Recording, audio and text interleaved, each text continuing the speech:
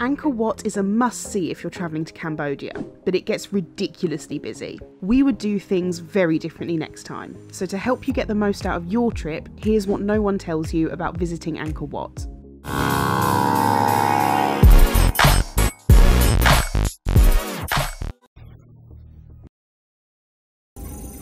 It's super early.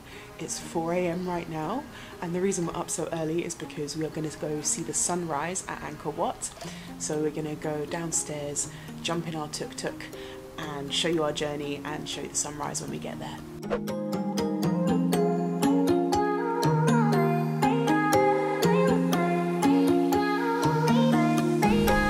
It's the middle of the night. You can barely see anything.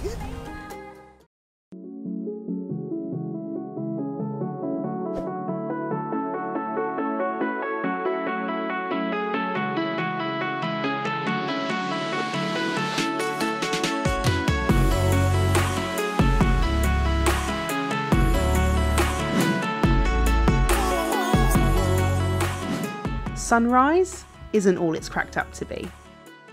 So we went to watch the sunrise and it was quite nice, but I thought it was a little bit overrated to be honest.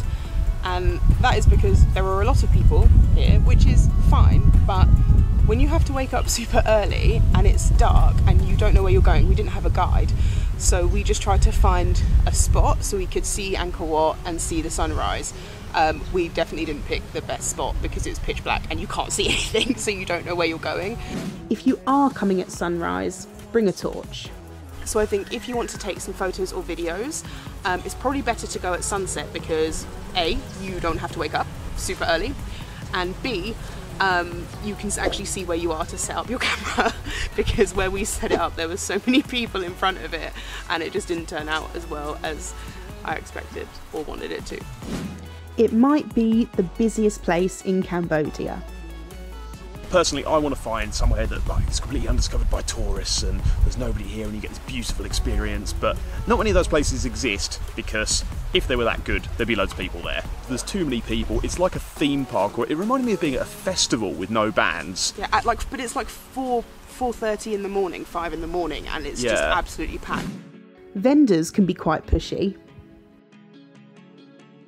You're in the middle of a field. There's people like trying to sell you merchandise with Angkor Wat T-shirts and that give you tours and there's drink stands and there might as well be burger vans. Like I don't think there was. It's cool. It's nice, but personally, I preferred a lot of the Thai temples to, Angkor Wat, which is probably controversial, but it's the truth.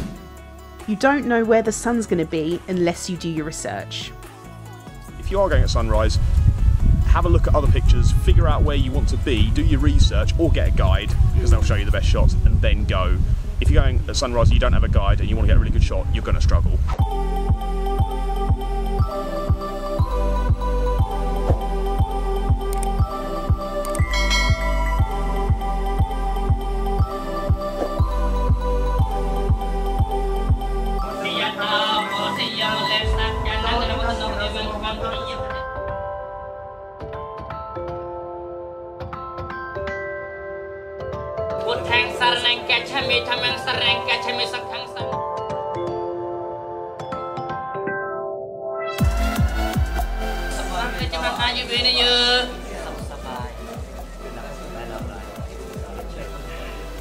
Good blessing.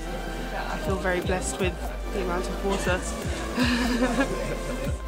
There's a lot of stairs and it's going to be a little bit tough if you're not fit. Is incredibly steep.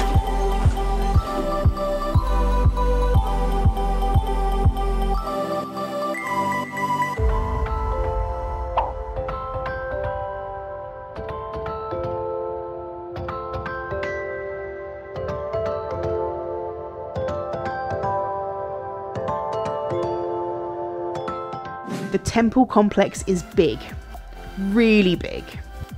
We have lost our tuk tuk driver. so he is not outside the entrance that we have just walked out of.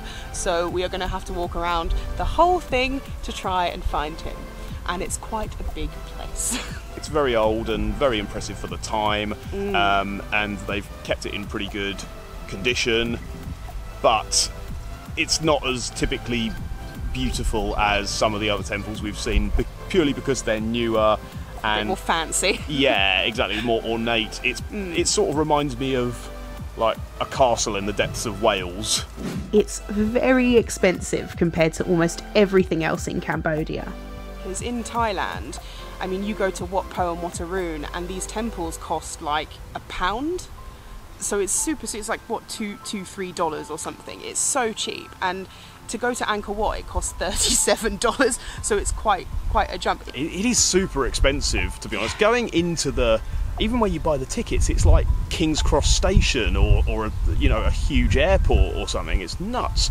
You sort of feel like it's it's a bit of a victim of its own success, mm. and they're sort of taking advantage of it a little bit with the cost, which I don't really blame them because I feel like Angkor Wat might be might account for about 80% of Siem Reap's economy.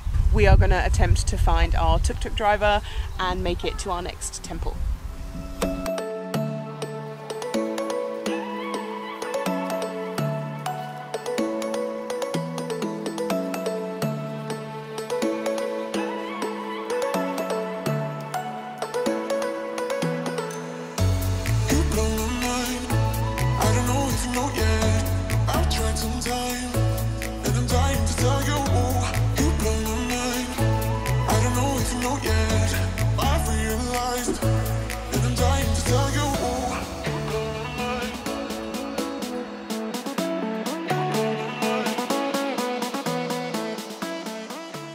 We just finished looking or exploring Bayon Temple. I thought it was actually pretty trippy, to be honest. Like these massive stone faces um, carved into the kind of temple walls. So that was pretty cool.